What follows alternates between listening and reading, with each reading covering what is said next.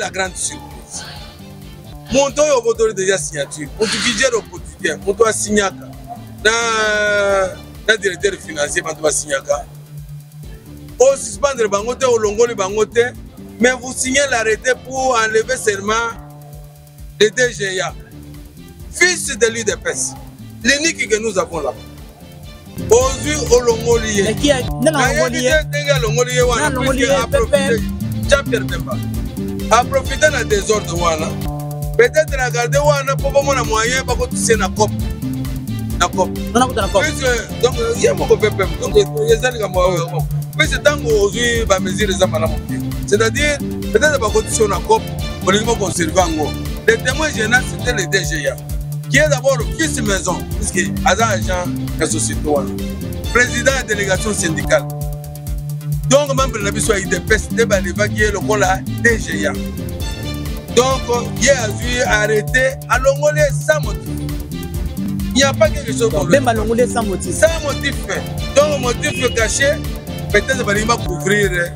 nani wana là je parle là je parle de top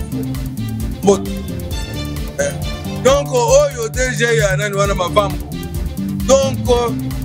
un homme de trafic de france au oh, finish ntango amoni ke jean pierre bemba nde akomi na ministère ya transport ake koadere officiellement na mlc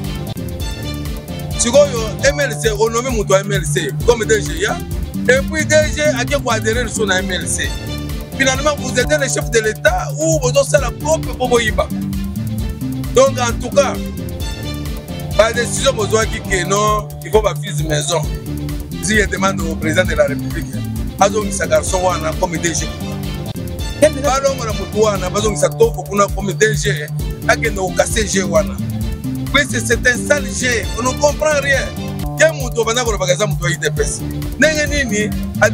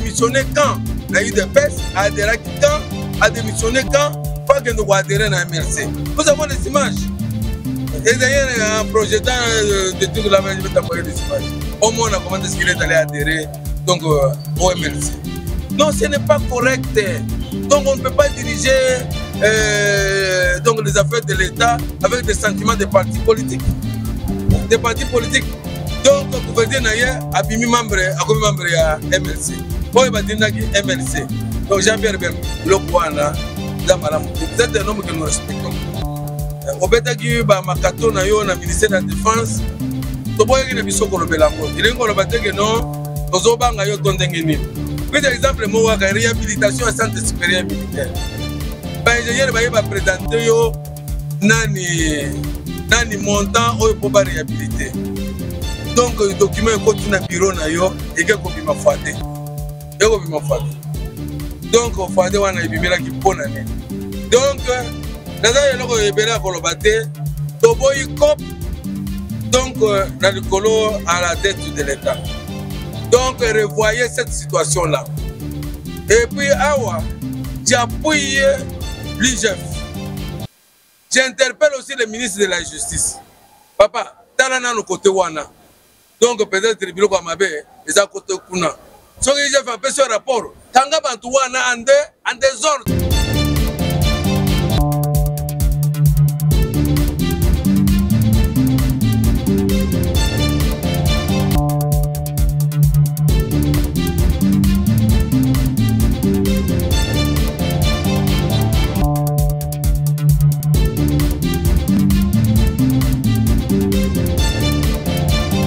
Mwana mboka Bill Mayombo, bonjour. Bonjour mon frère. Merci beaucoup mwana mboka Bill Mayombo, obeli na nzela DRC News, tobeta masusu tala politiko ya République démocratique du Congo, mwana mboka Bill assistant. Boni boni santé politique ya République démocratique du Congo.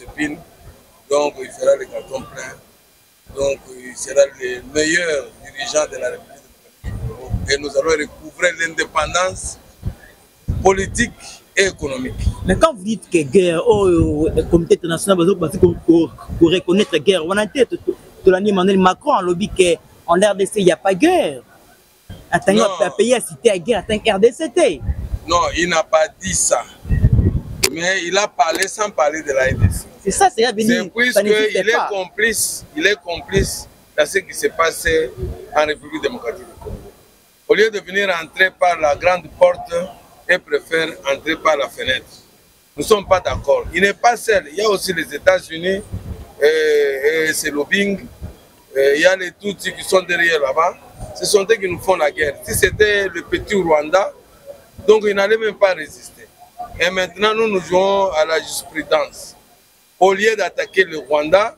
nous allons les exterminer ici en République démocratique du Congo, à notre sol. Dans quel moyen Puisque Bango Bazolinga, soki tokoti na Rwanda, bazwa prétexte batinda baforce na bango mpo babundisa biso bien basala occupation. C'est la raison même oyo tozosenga ke tochange constitution. Puisque soki obandi na article 211 jusqu'à 217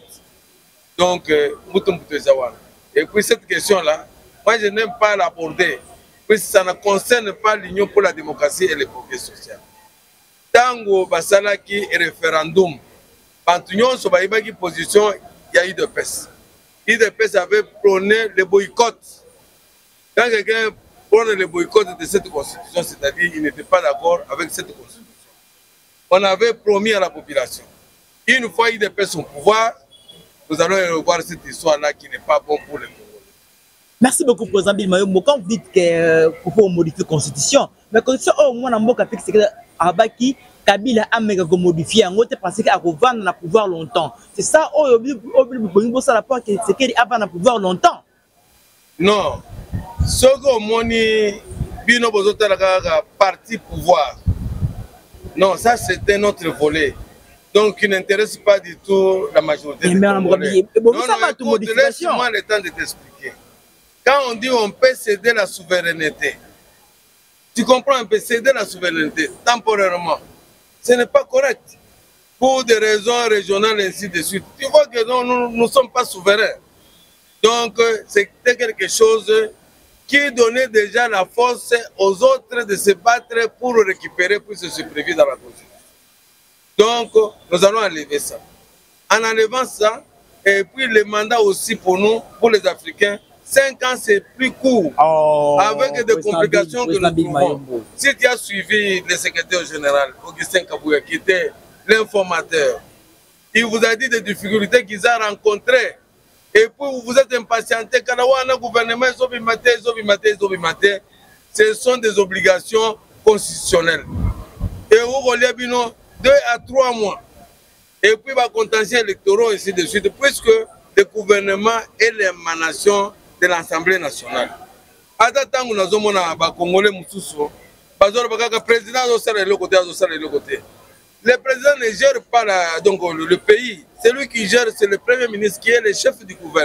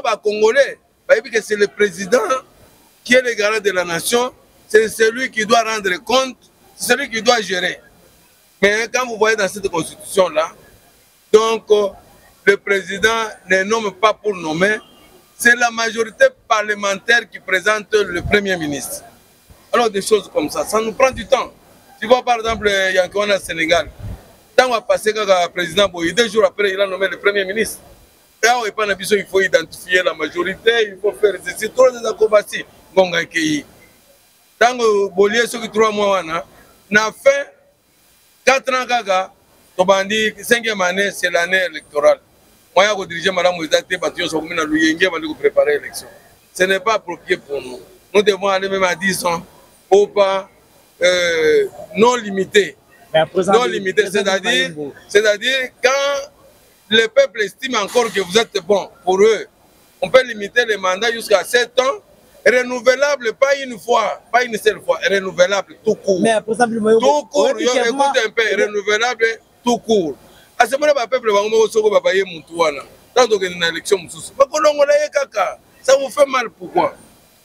mais le temps le peuple congolais azo souffrir na guerre na est il faut kobunda mpo na kimi ekota bino bozobunda mpona komodifieokimi ekokota na modification ya constitution na baarticle wana puise baarticle wana alobi pour des raisons de panafricanisme tout ça on peut céder partiellement donc une partie du territoire national tu ne vois pas que c'est déjà mauvais ntango tozoverue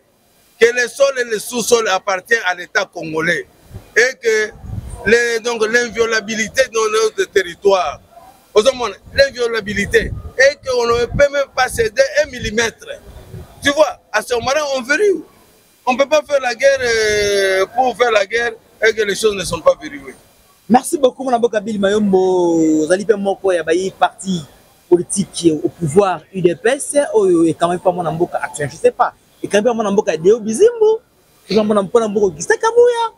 on comprend pas des choses mwana mboka mokolo ya dimanche olaki yikiyiki na kati ya terra buda yoka nayebisa yo tu ne comprends pas puisque oza ya kolala pongi oh, na ndenge nini puisque moto soki aza kolala pongi akokoma lokola fayulu alobi naza président eli azolota azotambola na bacortege asituka boye aza epa na ye aza ata na garde moko te ozomona nde wana bavantire tozomona babizibu wana donc bizibu azolota ndoto ya bababa nayebisaki l'autre fois ke ata soki babengi jésus akiti awa jamais deo bizibu akokoma jamais secrétaire général ya union pour la démocratie et le progrès social puisqu'il n'en a pas qualité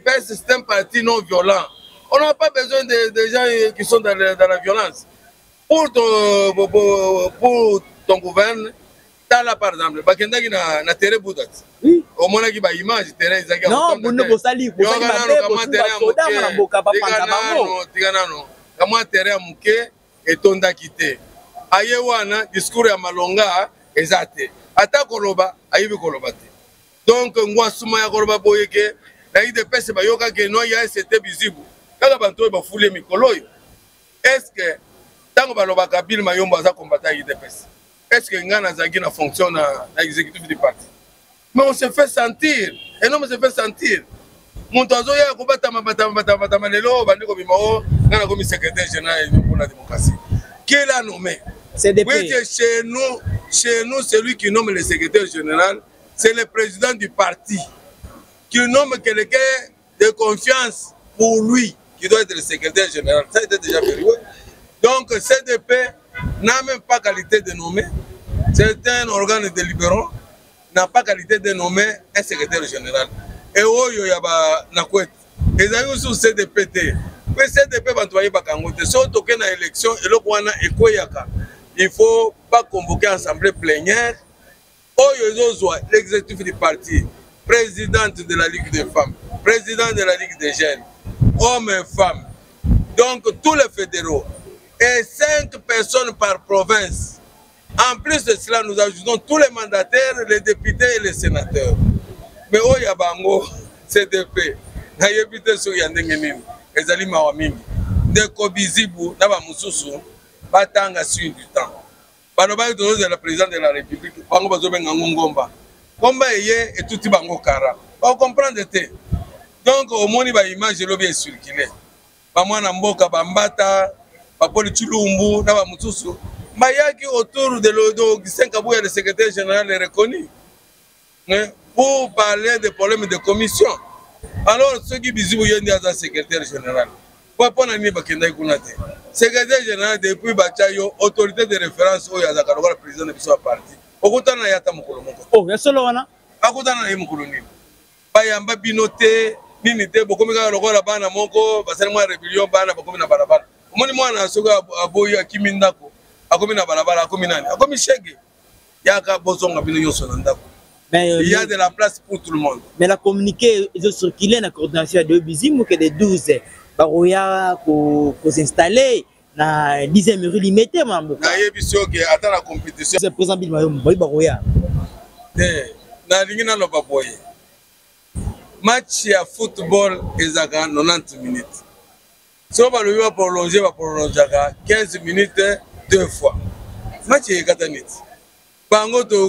tobeti match 90 minutes basali prolongation deux fois etosi te trois fois etosi te sikoyo match ekatana te eh, balobi ezalaki su apaisement mama maka salua baki bapapese yoka nayebisa yo moi j'étais en face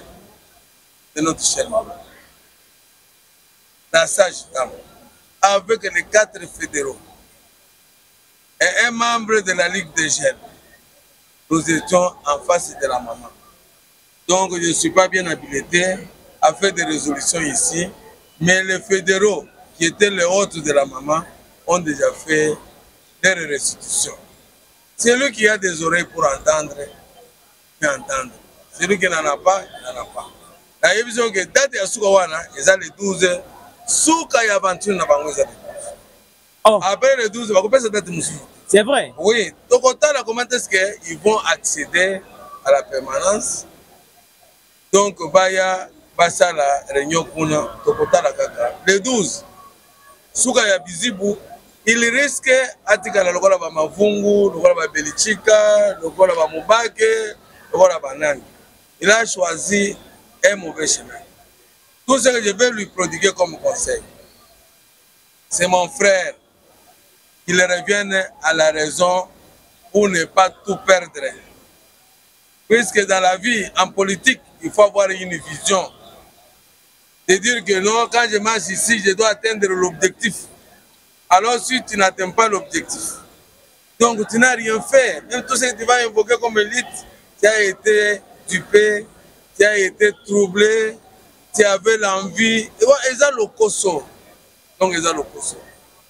bazonga na ndako ya de la place pour tout le monde oyo akolinga kotika libanda atika na ye libanda oyo akolinga kosala parti politique na ye asala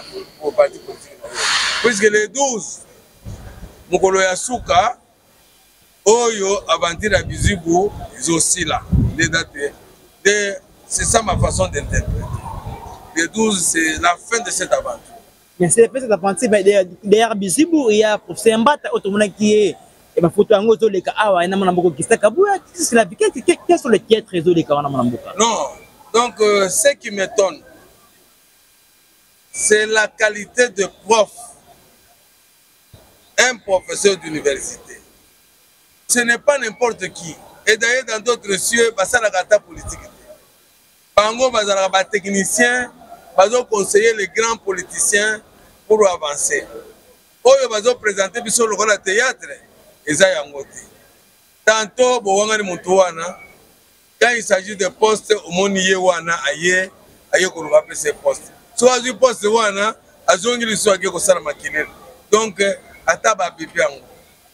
ce sont des bebes politiques ata ba bebe politique yango ezalaka bongo. Donc dans, dans, dans la politique, quand ce n'est pas encore ton tour, donc on se, on se calme, on continue à avancer. Baza ba député. Mpo na nini bango ko se contenter baza nanu ba député te. Hein, batala esika tozo kende. Nani ayebaki que non Anselo akokoma VPM. Tobani na vieux Kankoni VPM. Anselo VPM. Peter Kazali VPM. Aujourd'hui nani Shabani VPM. c'est à dire tozotala donc on est en train de roder tout le monde tozala na bahomme capable des hommes d'état bazwi déjà expérience baleki mpe baministre banini banini bilianzi azalaki déjà ministre deux fois edeni azalaki ministre on doit roder aussi les autres mpo tokoma na bahomme d'état puiske baerreur oyo basali econstitue expérience mpo na bango ekozwa experience mpo na bango puise soko banome bango mbala ya nsima bakozala très prudent bakose comporter comme de véritable homme d'état awa baye lokola bana oyo bazalaki na mposa ya komela mai telemaka mposa eleki olie aluka gobele amela azwi kaka bido atie na monoko abandi komela eh, ekoki koboma yo merci beaucoup colombile tokemaka mosu kotala agence oepec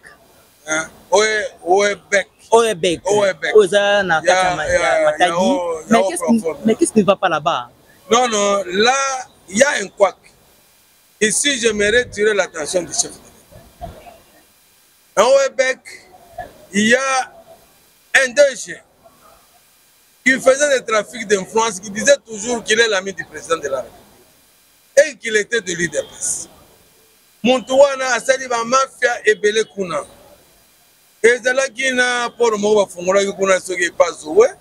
oyo baza ko exploiter na ba chinois. Tango president azui mesure bango bakangi wana balobi no tofutela na Webec. Babandi kofuta 115 000 dollars le mois. Donc le même DG revient tonga la négociation azo se retrouver te ake ko renégocier akitisi mpo leta aperdre bango bakabolaka na bato oyo baza kote ya bachinois bakitisi yango na 65 50 000 destination ekei toyebi te ntango tokómi na moment ya élection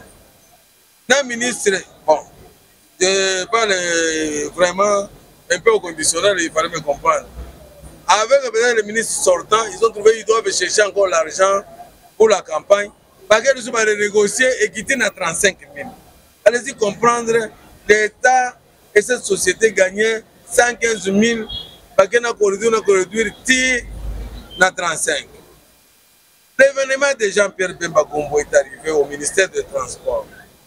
Il a trouvé que l'IGF était sur les traces. Il a pris des mesures conservatoires. Abotoli DG signature. Po batala atindi ekipe na ye baye kosala ba investigation. Quelle était la grande surprise? Moto oyo obotoli deja signature, moto kijero quotidien, moto asignaka na na directeur financier bato basignaka osuspendre bango te olongoli bango te mais vous signez l'arrêté pour enlever seulement le DGA fils de l'UDPS l'unique que nous avons là-bas ozwi olongoli ye nayebi te ndenge alongoli ye wana puiske aprofite jean pierre bemba aprofite na desordre wana peut-être na garde wana mpo bamona moyen bakotuse na cop na cop puiske donc ye moko vpm donc eza likambo oh. puiske ntango ozwi bamesure eza malamu te c'est-à-dire peut-être bakotisi yo na cop olingi boconserve yango le témoin gena c'était le dga qui est d'abord fils maison puisque aza agent ya société wana président ya délégation syndicale donc membre na biso ya idps nde balevaki ye lokola dga donc ye azwi ye arrêté alongoli ye sans motif il n'y a pas quelque chose bemba alongoli ye sans motif sans motif donc motif caché peut-être balingi bacouvrir eh, nani wana quand je parle là je parle de tovo mbote eh. donc oyo dg ya nani wana mavambo donc un homme de trafic d'influence au finish ntango amoni ke jean pierre bemba nde akomi na ministère ya transport ake koadere officiellement na mlc sikoyo mlc onomi moto ya mlc comme dg ya et puis dg ake koadere lisusu na mlc finalement vous aidez le chef de l'état ou bozosala cope mpo boyibaka donc en tout cas ba décision bozwaki que non il faut ba fils maison si je demande au président de la république azongisa garçon wana comme DG kuna balongola motu wana bazongisa tovo kuna comme DG akende kokase je wana puisque c'est un sale je on ne comprend rien ye motu obanda kolobaka eza motu ya idps ndenge nini ademissionne quand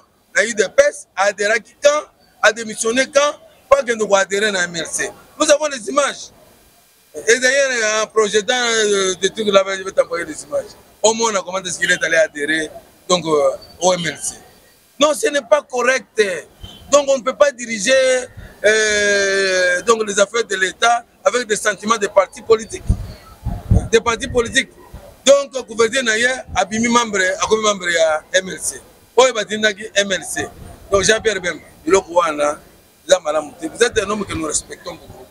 euh, obetaki bamakato na yo na ministère ya défense toboyaki na biso kolobela yango elingi koloba te ke non tozobanga yo to ndenge nini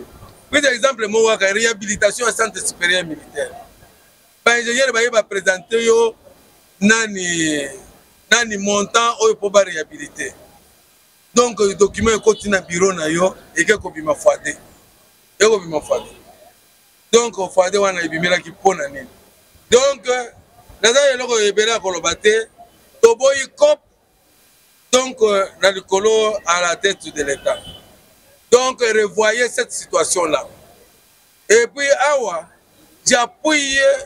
l'igf j'interpelle aussi le ministre de la justice papa tala nanu kote wana donc peut-être biloko ya mabe eza kote kuna soki igf apesi yo rapport kanga bato wana ande en desordre kanga bango en desordre soki omoni ke vpm mpe akotaki na cope wana il n'est pas au-dessus de la loi vpm nani jean pierre bemba il n'est pas au-dessus de la loi il faut l'interpeller merci faut l'interpeller donc omoni erreur basalaka na, na bacabinet akuti bato bazalaki na cope baza kuna agarde bango bafongoleli ye cope amoni ke esika ya kolera yango oyo okomanse anome pour nome donc là nous ne sommes pas d'accord et puis ngai naza moto ya bilobaloba te si je parle comme ça puisque ça fait mal j'ai le souci de l'union pour la démocratie et le progrès social nazoyoka mpasi ndenge bazofingela ngai augustin kabuya chilumba oyo azoteka baposte azosala boye yo profite na cafouillage olongola l'unique fils de l'udps et fils maison de la société olongoli biso ye na société wana ozwi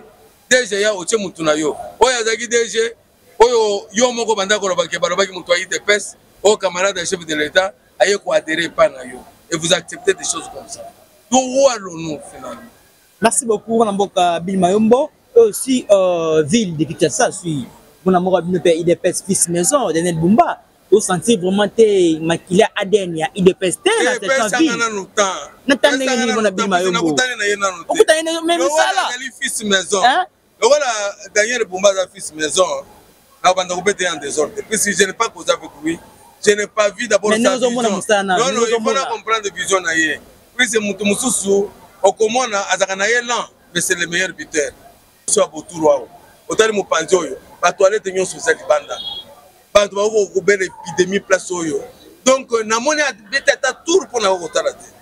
puiske mokonzi alekaka nano atali atali quelles sont les, les mesures d'urgence et les mesures d'hygiène qu'il faut prendre pour protéger la population bato oyo bazoteka pembeni wana bamosusu bazokalinga bamaki banini ozomona banye eza libanda eza libanda kobanda kaka awa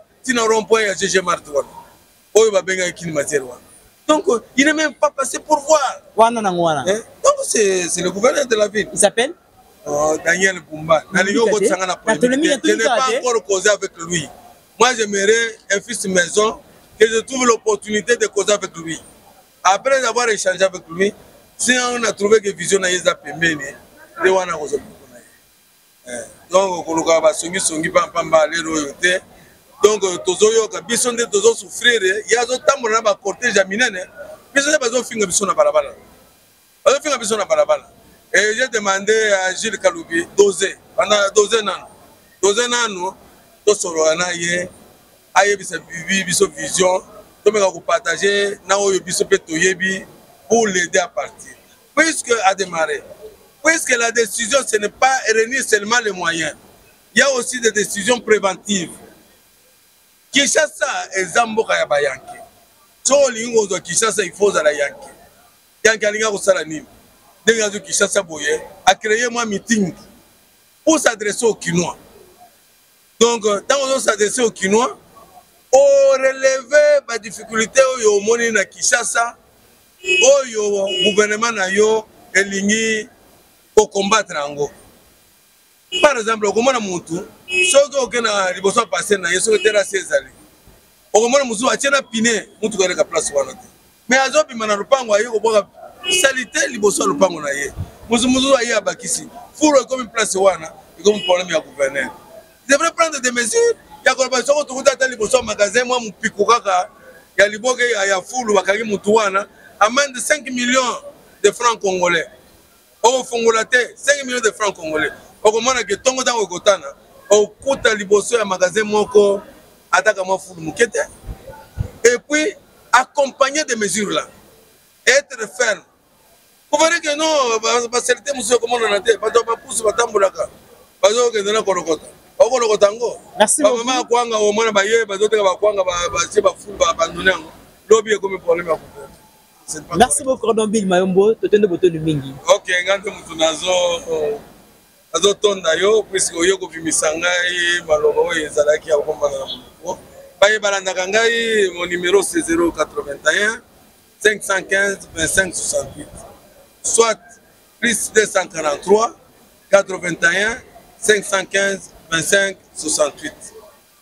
udps elengi congo mboka ya demokratie faci beton fin puiske atikela biso liberté d'expression oyo ebanda kosalama te na bagouvernement mosusu bamiyibi oyo baleka bayiba trop puiske bato tozalaki na liberté ya koloba te soki olobi bakangi yo mais oyo ozala mwana ya udps babeti ofimbo ozala mwana ya kote mosusu babeti ofimbo nde kitoko na yango yango wana